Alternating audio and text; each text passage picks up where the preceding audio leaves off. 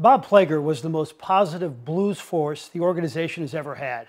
Whoever was in charge, he supported. When Mike Keenan was here for his reign of terror, he basically only had one guy in his corner at the end, Bob Plager. A car accident took Bob's life today. Team president Doug Armstrong said, as Bobby would fondly say, number five in your program, number one in your hearts. That holds true today and forever, as Bob truly is the St. Louis Blues.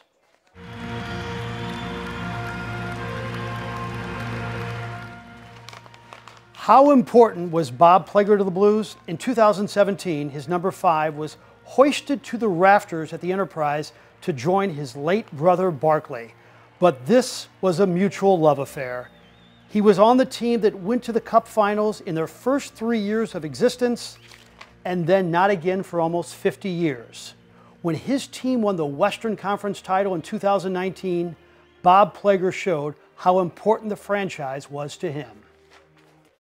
Tonight, and all that this is for the players and the fans. They deserve it a lot more than Bob Plager, and they worked for it a lot more than I did. And you know, it was don't realize that Barclay's wife was up there, his kids, and I mean, uh, there's a lot of tears up there. So I'm about to tear up again right now if I don't get out of here.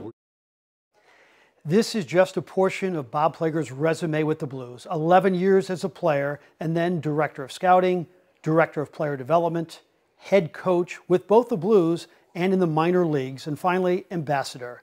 There was no one who represented the Blues with more pride than Robert Bryant Plager.